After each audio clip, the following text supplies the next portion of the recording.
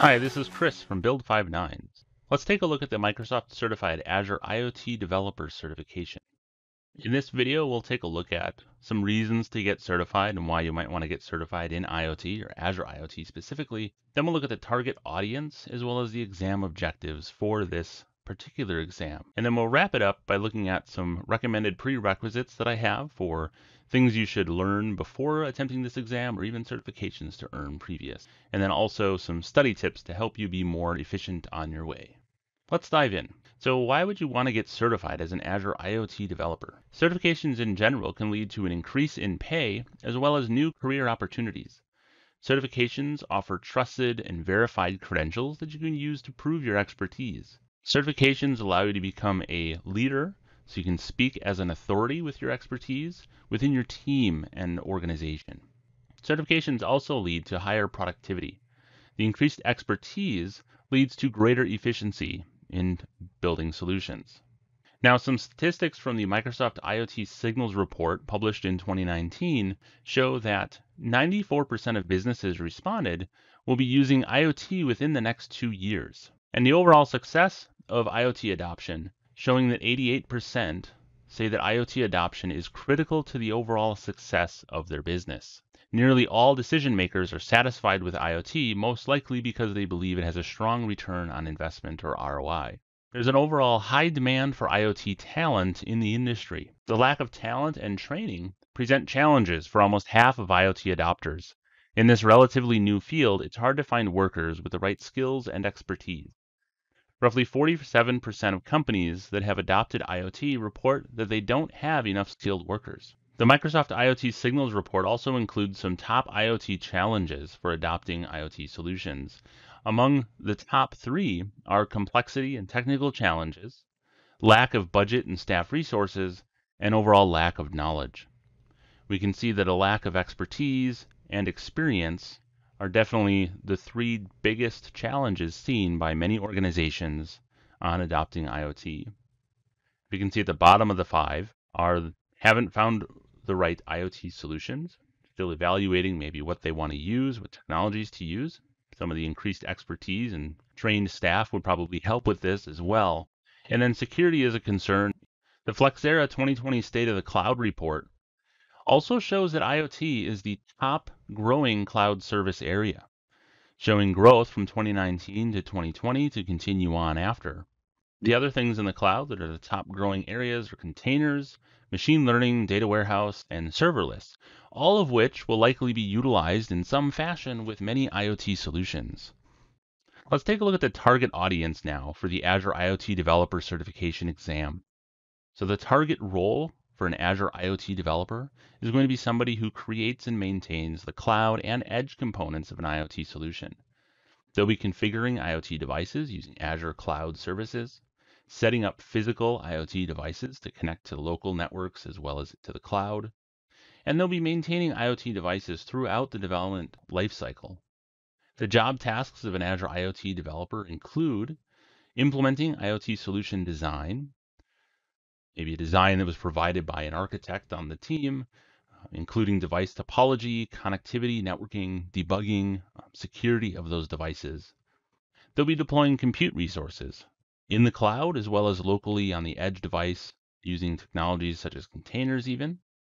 They'll be configuring the device networking, connecting those devices to the local network as well as connecting them to the cloud and to the internet overall, and implementing solutions to manage data pipelines as well, this will include monitoring and data transformation, leading into the need for the Azure IoT developer to work with data engineers and other stakeholders for successful business integration beyond the actual IoT devices themselves and into the full solution. The technology focus areas for this certification exam are going to look at the Azure services that are used for IoT solutions, these will include storage services, data analysis and data processing services, as well as other platform as a service or PaaS services in Azure. There's also a coding aspect to the focus on the exam, with IoT coding requiring you to be familiar with at least one Azure supported language, such as C Sharp, Node.js, C, or Python. It's good to note that this exam is not device specific, it is really a device agnostic exam. It's testing you and verifying your expertise on building the Azure side of the cloud solution. And on the device, you'll be using the SDKs to interact with the device, but it's not going to test specific devices. Now, the exam objectives of the Azure IoT Developer Certification exam include a few areas as would be used by an Azure IoT developer. We can see here percentages listed by each objective area to show how much of the exam is covered in that specific area, and it's pretty well spread across the different areas. So implement the IoT solution infrastructure, representing roughly 15 to 20% of the exam. Provision and manage devices, about 20 to 25% of the exam. Implementing edge, so this would be the IoT edge compute piece, so roughly 15 to 20% of the exam. Processing and managing data, being 15 to 20% of the exam. Monitoring, troubleshooting, and optimizing IoT solutions, roughly 15 to 20% of the exam. And the last area, implementing security, roughly 15 to 20% of the exam, with a fairly good focus on security, as is definitely warranted to make sure that IoT solutions are secured properly, in addition to all of the other edge data and integrations that will be done. So looking through the exam objective domains, for implement the IoT solution infrastructure, this includes creating and configuring an IoT hub, building device messaging and communications, as well as configuring physical IoT devices.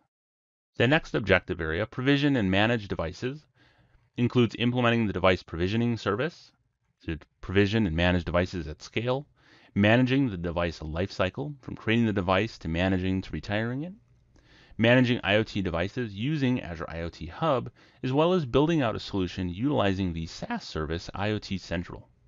The next objective, implementing Edge, looks at the implementation of Azure IoT Edge from setting up and deploying IoT Edge devices, developing modules that run on those devices, as well as configuring an Azure IoT Edge device. And then processing and managing data is going to look at configuring routing in Azure IoT Hub to be able to send those messages from your devices out to Stream Analytics, Cosmos DB, other places. And then configuring stream processing using particularly Azure Stream Analytics for that, as well as configuring an IoT solution for time series insights. And monitoring, troubleshooting, and optimizing IoT solutions is going to cover a wide area of features within the different services covered by the other sections, looking at configuring health monitoring for your devices in your solution, troubleshooting device communications, as well as performing end-to-end solution testing and diagnostics. And then the last objective area, implementing security, is going to look at some of the different security features of all the different services covered in other sections, such as implementing device authentication in Azure IoT Hub using, say, password authentication or X509 certificate authentication, implementing device security using Azure Device Provisioning Service or DPS, as well as integrating Azure Security Center using the Azure Security Center for IoT functionality. Now, before you t- attempt the Azure IoT Developer Certification, I do have some recommendations on prerequisites. Just to get this straight, so that there's no confusion, the AZ220 exam, the Azure IoT Developer Specialty exam, does not actually have any prerequisites that are hard from Microsoft. You can take this exam standalone. You don't have to take any other exams or earn any other certifications previous to attempting this certification exam and earning the certification once you pass this exam. However, I do have some recommended prerequisites that you'll want to learn, look into, and study before attempting this certification exam, as it will definitely help your preparation for becoming an Azure IoT developer specialist. I recommend you have a working knowledge of Azure, so be very familiar with creating and managing services, have a basic understanding of Azure IaaS as well as PaaS services, and then also be familiar with the Azure CLI. And then as a developer, you should have working knowledge of programming IoT devices using one of those Azure supported languages, so C Sharp, Node.js, C, or Python, as well as utilizing Visual Studio Code as an editor. Then going further beyond my recommended prerequisites into certifications that I recommend earning first is the Azure Fundamentals certification.